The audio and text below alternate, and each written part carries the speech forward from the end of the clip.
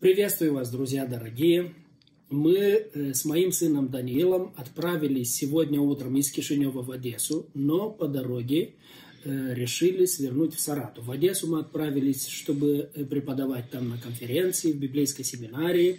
Конференция начинается завтра утром, но мы решили заехать в поселок городского типа Сарата, потому что очень я захотел э, заехать в этот поселок и э, возложить букет цветов к памятнику Игнаца Линдова.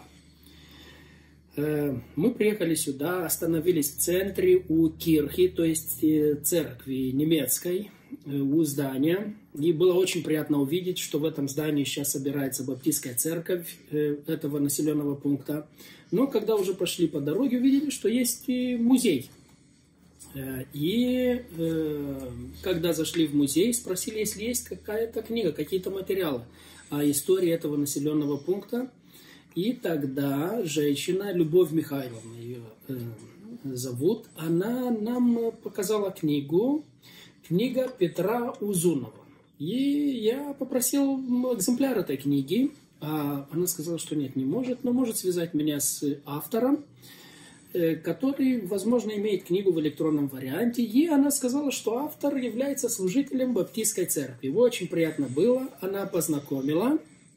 Мы пообщались по телефону. И вот мы сейчас уже встретились с нашим э, братом Петром Ивановичем, э, который на работе находится, взял перерыв, чтобы пообщаться с нами. И э, вот э, э, я очень хочу, чтобы он нам рассказал больше. Но сперва, э, Петр Иванович, расскажите немножко о себе, о том служении, которое вы делаете здесь, в, в Саратове. Я являюсь э, диаконом местной баптистской церкви, э, которая проводит свои служения именно в храме, в одном из первых зданий культовых в Бессарабии, в том храме, который, который было построено в 1840, 1840 году и отреставрирован э, уже в 1995 году при содействии общества бессарабских немцев и господина Кельма, который в то время был председателем этого общества. Естественно... Э, и они предоставили это здание баптистской общине. Да, поскольку не было здесь лютеранских общин других, а самым близким а, к ним были мы Особенно к, к мировоззрению да, да. Линдла. Да. Наверное, баптисты ближе всего. Наши братья участвовали в реставрации кирхи этой. Это замечательный, это вообще памятник архитектуры. А, и, кстати, были братья из Молдовы, участвовали тоже О, в строительстве. Очень приятно. А, я могу если вам интересно узнать, кто был, откуда, этим, этой информацией владеет наш пастор. Очень.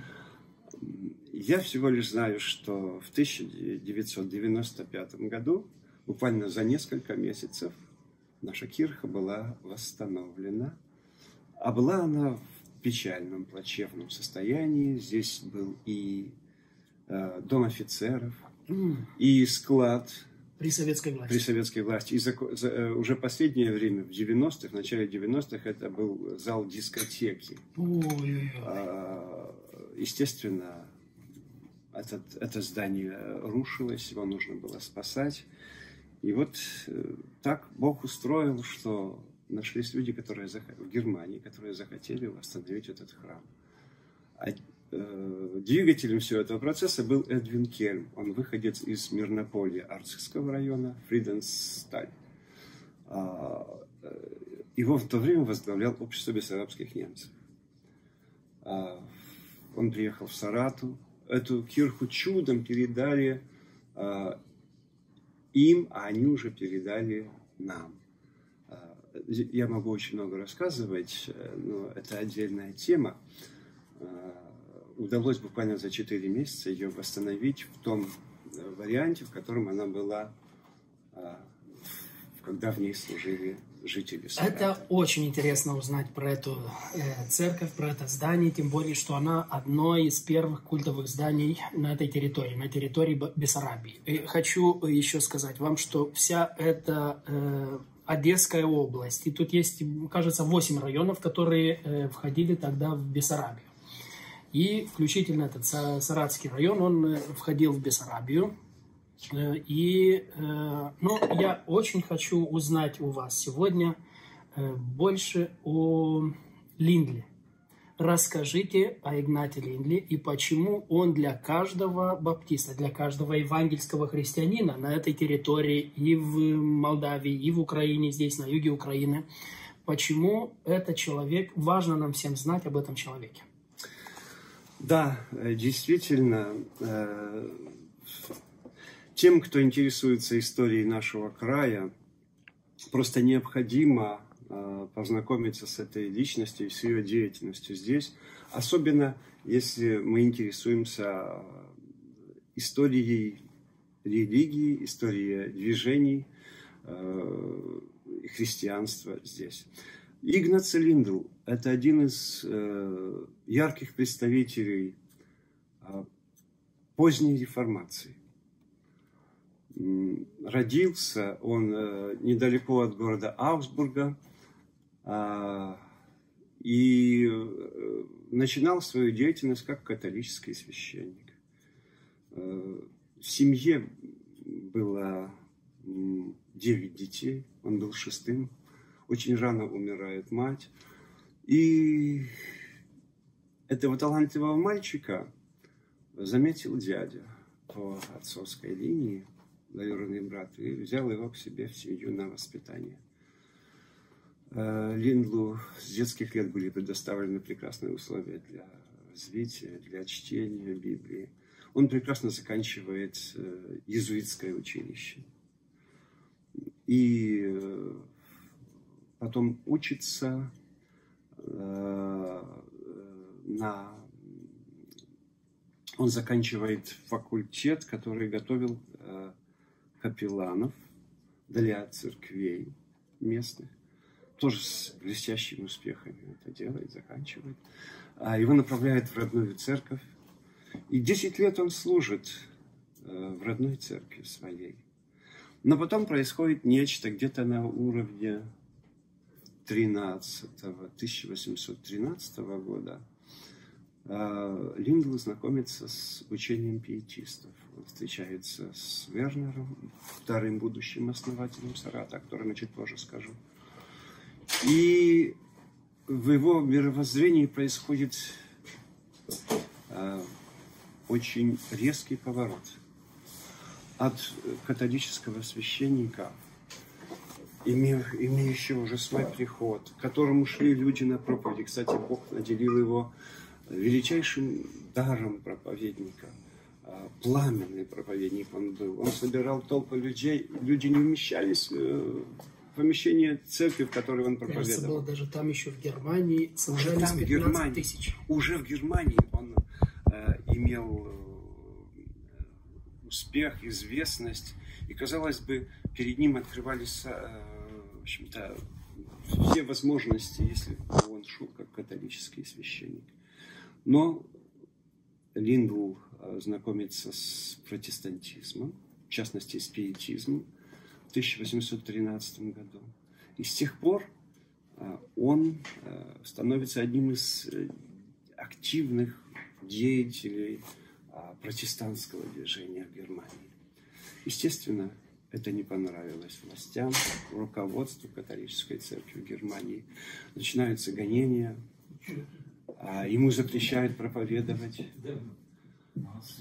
Доходит даже до того, что Лингла сажают за решетку на 9 месяцев. Но он Там не... в Германии. Там, в Германии. Он не отрекается от своих взглядов. Но в этот период а, русский царь Александр I тоже проявляет особый интерес к протестантизму. Его схоластические взгляды известны. И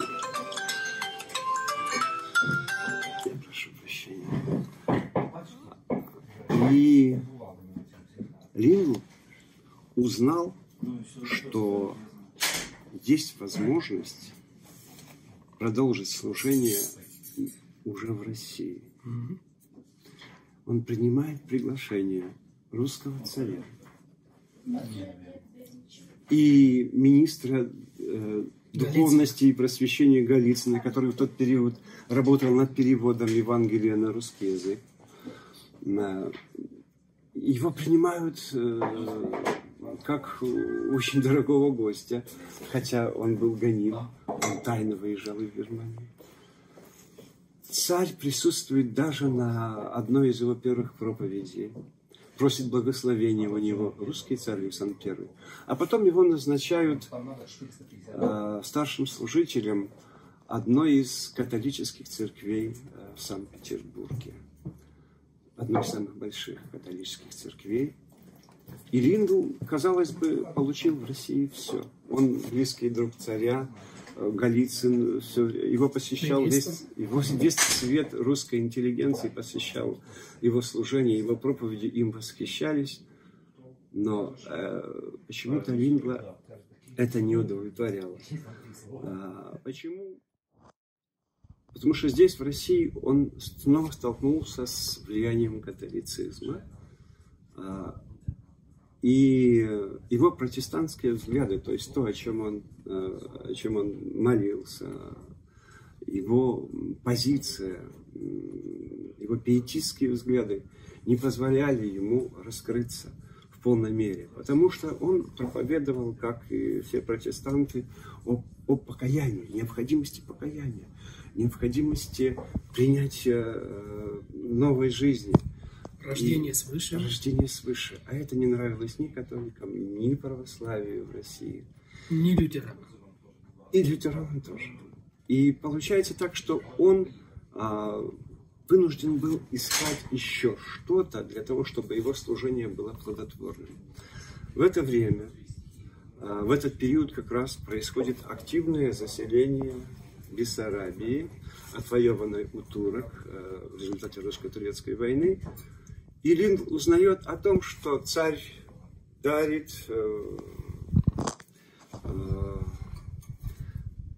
всем желающим приехать в Бессарабию, дает свободную землю, дает возможность строить свои поселения и разрешает им сохранять свои вероисповедания. И тогда Линдл э, начинает работу над так называемым апостольским проектом. В книге Уты Шмидт, это все названо апостольский проект Игнаца Линдла, он вдруг а, осознал, что есть возможность, уникальная возможность построить на совершенно новом месте абсолютно новое поселение. А, и пригласить своих единомышленников из Германии сюда.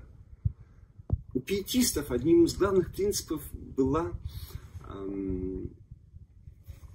идея второго пришествия Христа в 1836 году по э, предсказаниям э, Бенгеля и по э,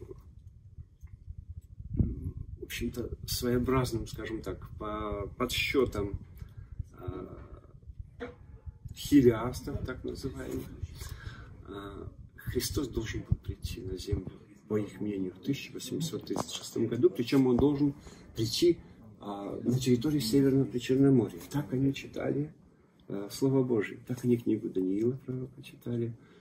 Он загорелся этой идеей встретить здесь со своими единомышленниками Иисуса Христа. И для этого построить поселение совершенно нового типа. А, такое поселение, в котором а, его сторонники могли бы реализовать идею христианской коммуны. Линдл хотел, чтобы его единомышленники жили так, как жили первые христиане а, первых лет после Христа. По Евангелию, по книге Деяний, вторая, вторая глава, 42 а, стих, отмечены принципы жизни первых христиан. Именно такую коммуну христианскую хотел создать здесь Риндл. Но а, нужно было найти место для этого поселения. Кстати, а, в это время уезжает декан католических а, всех церквей Юга России. Он был в Одессе. И Линдла назначают деканом или пропстом, как тогда называли, всех католических э, колоний Юга России, а, и направляют его в Одессу. В Одессу. И он получает возможность э, познакомиться с теми территориями, которые здесь открылись. И самое главное, э, он, приехав сюда, ощутил очень сильное давление со стороны католиков. Он протестант, являлся в то же время руководителем. Окна ему разбивали. И окна разбивали. Колонии Ландау его встретили с вилами и косами, не пустили в храм. А в Одессе очень много было попыток э, запретить ему служение. Но это был человек э, величайшей воли, веры. Приехав в Одессу, он тут же пишет письма в Германию а, к Вернеру и своим единомышленникам подготовиться к приезду сюда. А Линдл, выполняя свои обязанности пропства католических колоний, одновременно искал место для нового поселения. Эта идея очень крепко засела у него в мозгу, и Лин, э, Вернер ее поддержал.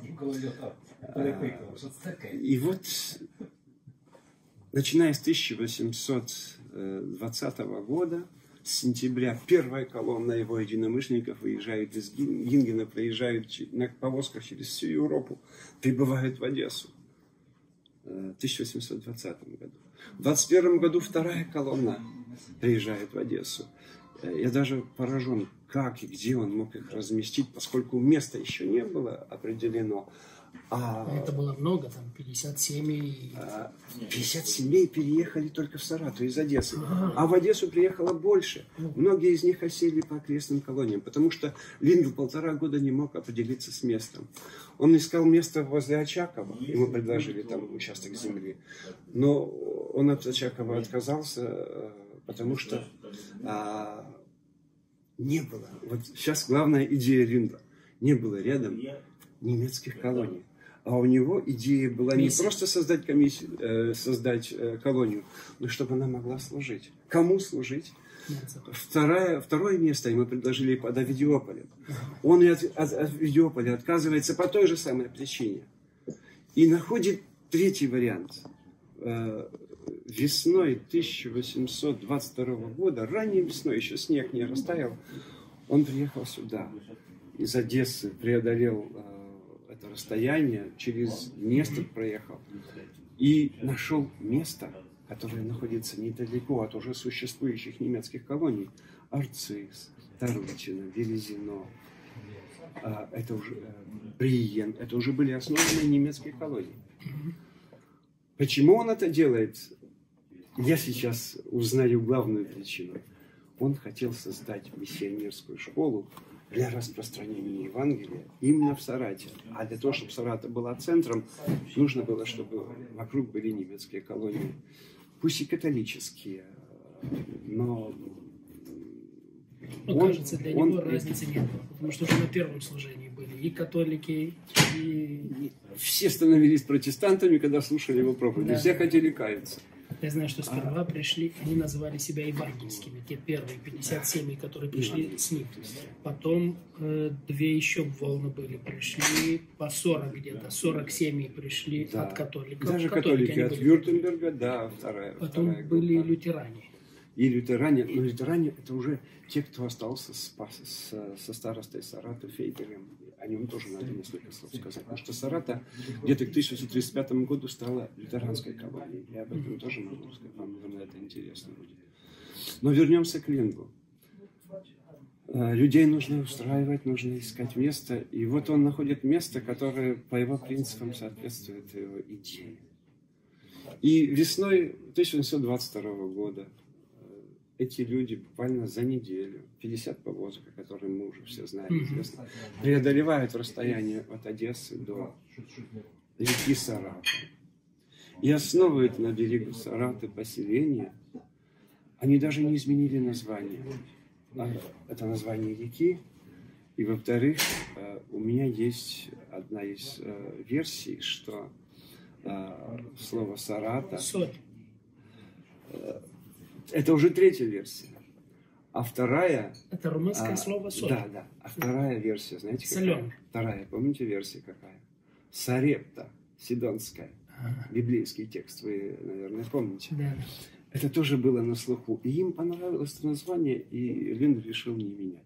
Здесь не было поселения, было татарское поселение, глиняные э, домики, которые были полуразрушены. Но, в принципе, на этой территории не было поселения. Он остановился в том месте, где был источник, очень известный по всей Бессарабии. А, Он искал этот источник, он знал о нем ранее. А это 19 марта 22 года. А 20 марта он от источника прошел километр ближе к реке и нашел прекрасную площадку между возвышенностью и рекой Саратой и положил камень. Собрались все вместе, помолились. сейчас на том месте, да? Не Кирха, а его памятник. А, его памятник на том месте сейчас. Вау, вау. Это очень это интересно. есть, э, что- это очень интересно, причем случайно. Когда памятник делали, мы еще не знали, где это место. Потом я определил примерно расстояние от Кирхи до реки, центр, географический центр поселка, и он как раз попадает на это место, где сейчас стоит памятник. А памятник это отдельная история. Его ставили люди, которые ничего не знали о Линдле. Немцы попросили, э, и люди установили. И тогда еще, я еще тогда даже не работал над этим материалом, когда памятник у нас появился. Э, В, тысячи- в 2001 году. Моя книга выйдет только в 2010 году. А в то- в 2001 году о Линдле знали только немцы, которые к нам приезжали. И они финансировали строительство этого памятника. Так, Линда приезжает сюда в 22 году, в марте. И э, 20 марта – это день основания Сараты. Именно 20 марта он провел, совершил молебен. Молебен на этом месте, где стоит памятник. Осветил первые камни. И э, люди плакали. Мы сейчас отмечаем э, день рождения Сараты. У нас теперь две даты. 20 марта основная дата. Ну и день э, Покрова Святой Богородицы. Это уже как бы Да, по храму э, храмовый праздник. Но первый остается основным. Да. И можете себе представить, Он недолго тут был. вот в том-то и все дело. Два года, кажется. А, меньше даже, год и девять месяцев. Он получил э, от царя очень серьезную финансовую помощь. 50 тысяч рублей на На строительство. основании... На строительство. Дома строились очень быстро. Буквально за один год было построено уже 100 домов. Люди вышли из землянок и поселились в своих домах. Э, Но Сарата была бы невозможна без еще одного а, христианина и миссионера и очень богатого человека. Это Кристиан Вернер. Только союз Линдла и Вернера могли создать вот то, что появилось в Сарате. А, Вернер был меценатом, очень богатым человеком. И когда он узнал об идее строительства э, здесь э, поселения, он сделал все, чтобы приехать сюда. Он продал свое имущество в Германии. А, Он занялся всеми финансовыми вопросами, связанными с переездом сторонников сюда. Э, Вернер готовил людей в Германии. Линдл здесь искал место, а Вернер там их готовил. И Вернер приедет уже в августе 23 года, где-то через год, и ему начнут строить дом, но Вернер тоже очень мало проживет в Сарате. Но это и отдельно. А Линдле? Линдлу удалось за год и 9 месяцев построить поселение по собственному плану. А, удалось э, сделать Сарату центром духовного возрождения Бессарабии за тот период. Представляете, в Сарату каждую субботу стремились люди на проповедь к нему. Он ездил по другим 80 колониям. Это общеизвестные факты. Я сейчас на них не буду останавливаться. А, Но что произошло с Линдлом? Почему так хорошо начавшаяся его судьба закончилась так печально? А, год и девять месяцев удалось ему здесь продержаться. Что произошло? Все-таки католические э, священники и руководство католических колоний не могли смириться с его протестантскими взглядами. Сюда в Саратов приезжает епископ католических церквей а, из Каменец-Подольского, всех церквей католических, которые находятся на этой территории. А, даже в книге указана его фамилия. Приезжает с проверкой, что происходит. Почему Линдл обращает католиков в протестантов? Почему наши церкви католические не растут, а растет церковь Линдла – что происходит. И приехал он не просто узнать, что происходит, он приехал, чтобы найти какие-то недостатки для того, чтобы убрать его отсюда. И знаете, находят. А поводы э, Лину э, из-за того, что он перешел протестантским взглядам, поводы дал сам. Во-первых, целебат. Его обвинили в том, что он нарушил целебат. Он действительно женился еще в Санкт-Петербурге на Кажется, прекрасной на сестре, девушке. На сестре того, который привел его, ага. который познакомил его с э, пиетизмом. Да. Э, э, Мартин, кажется, его звали э, Есть э, одна из версий. Я знаю фамилию этой девушки. Э, Элизабет Велк, Велкиев фамилия. И он перед отъездом срочно женился, чтобы вместе с ней уехать в Одессу и уже там у него были дети, э, у Линдла. Мы знаем о двоих э, детях. Э, первый Самуил, он родился в Сарате. Но это один из поводов. Второй повод, я уже сказал, что он не признавал где-то крещение. Это очень серьезно. Но самым главным было другое. Самое главное то, что изменились взгляды русского царя. Александр I очень э, быстро менял взгляды. 23 год. Дворянство э, в России бунтует. Скоро будет э, восстание декабристов. И вот в чем обвинили Лимба прежде всего. И главная причина, почему царь его выселил. Линда обвинили в подготовке восстания против русского царя. Он собирает людей с тайной целью а, совершить переворот. Вот, вот, эту, вот эту информацию этот епископ католический донес, как вы думаете, до кого? Он донес до австрийского канцлера Меттерниха. А Меттерних в это был очень хорошим другом Александра Первого.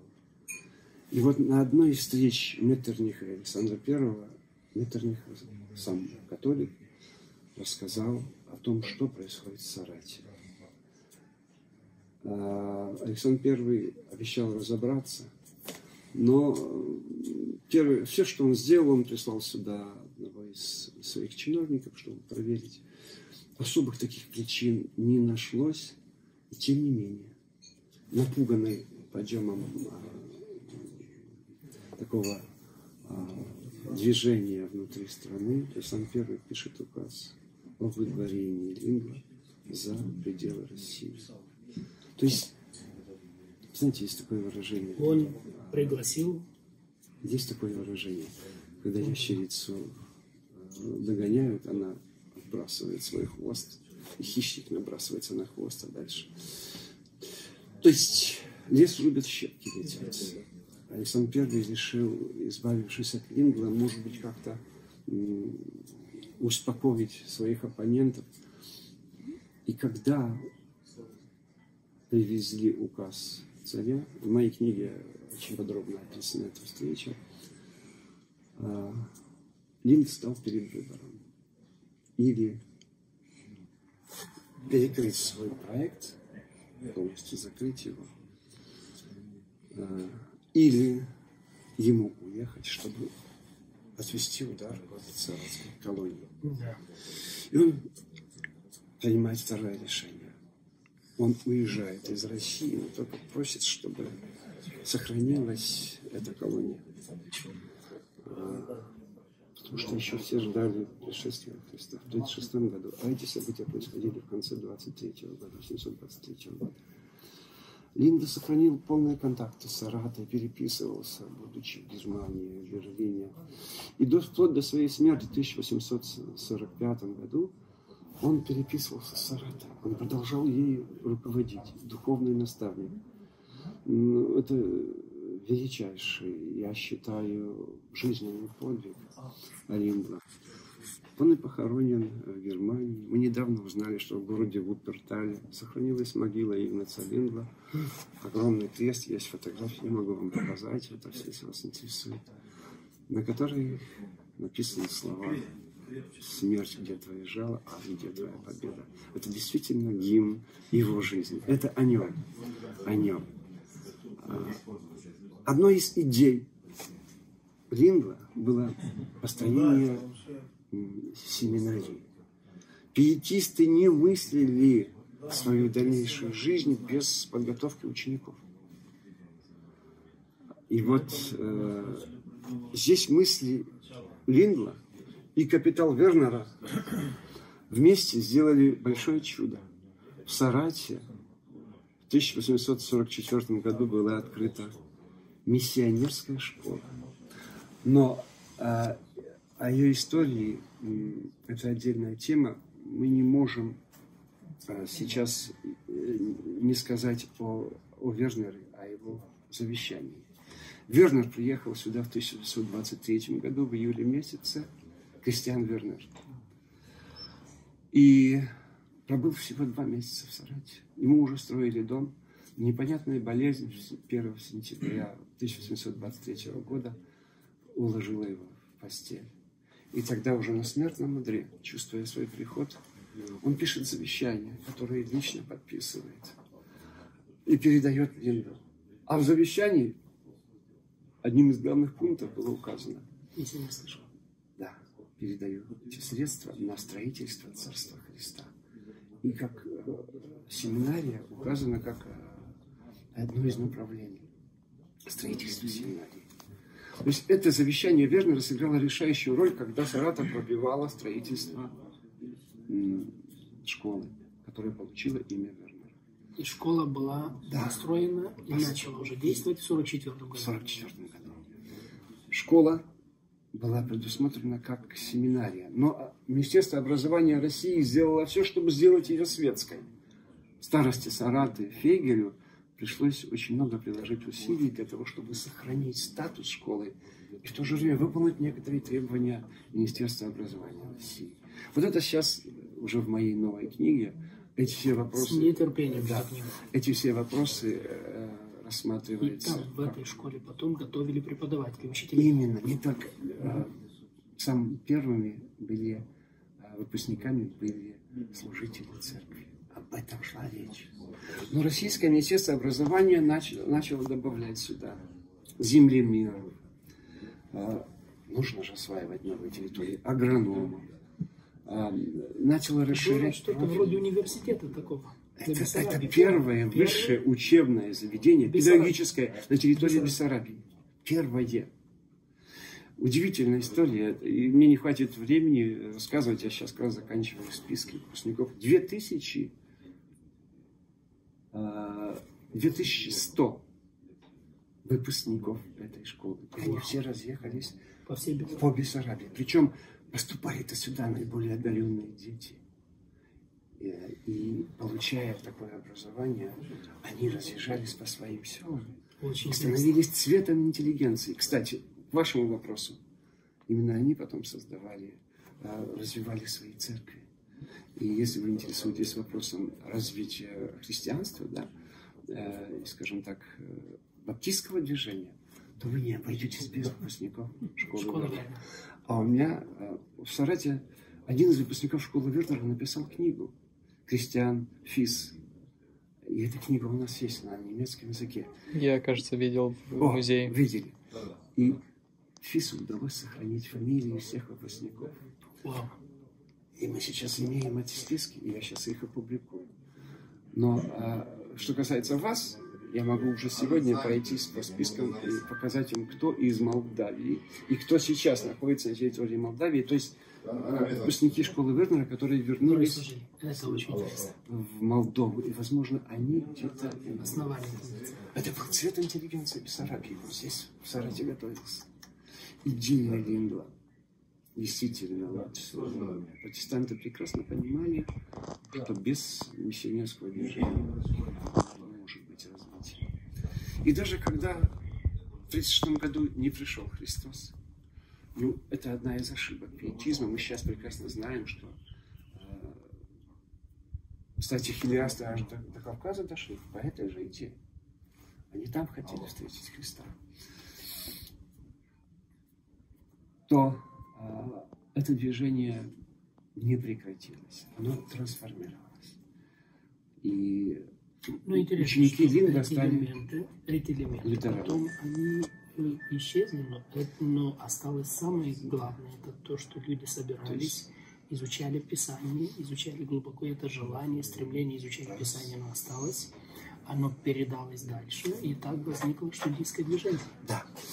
А, Позже, которое потом позже баптистское движение. э, Сарата стала лютеранской колонией, но э, лютеранство в Сарате носило отпечатки пиетизма. Это очень интересная вещь. Долгое время сохранялись традиции, многие. Хотя между пиетизмом и лютеранством очень серьезные есть э, вопросы, которые богословские. Но вот такая уникальная стадия. И колония Сарата буквально за несколько десятков лет стала одной из самых процветающих и перспективных в Бессарабии. Именно здесь, э, я уже не говорю о школе Вернера, первое высшее педагогическое учебное заведение.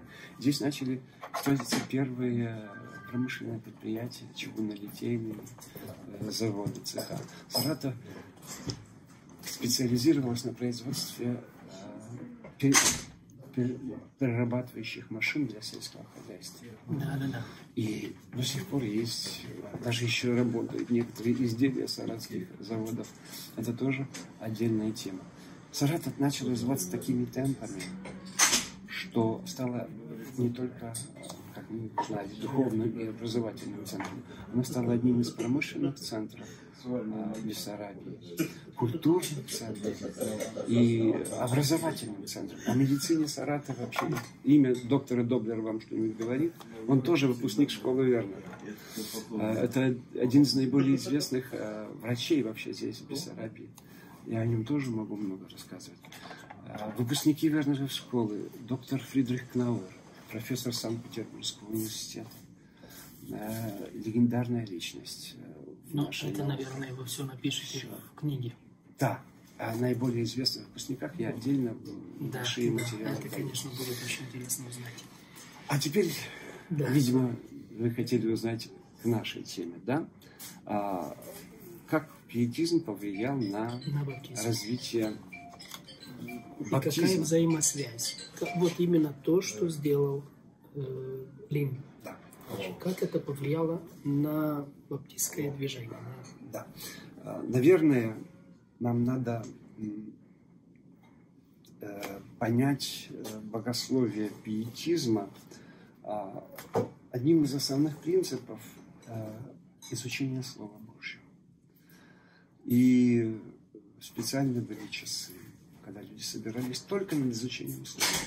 В других движениях, даже в некоторых протестантских, такого нет. И вот именно это повлияло на развитие баптизма. Каким образом? Я рассказываю об этом сейчас уже с позиции моей судьбы. А я сам родился в соседнем селе Заря, болгарское село. Мой дед, мой дед а, очень часто приезжал в Саратов того, чтобы устроиться здесь на работу. Богатые немецкие промышленники принимали на работу там на день, на два, на месяц. Хороших работников дольше содержали, даже повышали. Хорошо платили. Что интересно, то, что платили. Дед говорил, что если он неделю работает у немцев, то он а, име, а, может всю зиму прокормить семью. Если хорошо работаешь. Но я о чем хочу сказать. За час до окончания рабочего дня все рабочие предприятия собирались вместе, и им читалось Слово Божье. Вот болгары, украинцы, молдаване, которые по соседству жили в Саратове, получили доступ к Слову Божьему. У них не было еще своих, э, ни своих церквей. А, тем более... Но, кстати, еще один факт. У Лингла здесь был склад библейского общества. О, конечно. Ну. Через него распространялась Библия здесь. Тогда, когда он основал Сарату, здесь был склад библейского общества. Да, мы знаем об этих фактах. И в моей книге как раз описан один эпизод, когда он дарит Евангелие чиновнику, который приехал его проверять по указу. По указу Мне очень царя. интересно читать вашу книгу. По указу царя. А, То, что Лингл был миссионером, прежде всего, это даже не, даже не, не обсуждается. А, Но то, что я вот говорю о том, как дальше пошло здесь дело. Когда немцы в 1940 году по указу Молотова-Риббентропа покинули эти территории, остались группки людей, которые продолжали изучать Слово Божье, так называемые штундистские кружки. Штунд – это час, да, проведенный на немецком языке. Слово. «стунд» означает час. Час изучения Библии. И я считаю, что это одно из основных направлений, а, которое дало толчок для Изучение Библии, любовь Изучение к Библии. изучению Писания. И появление баптистов здесь. Почему? А, Вы, наверное, изучали, что вот наш район, юг Одесской области, бывшая Бессарабия, а, больше всего баптистских церквей. Это совпадает с территорией, которые занимали немецкие поселения Да, да. на этой территории.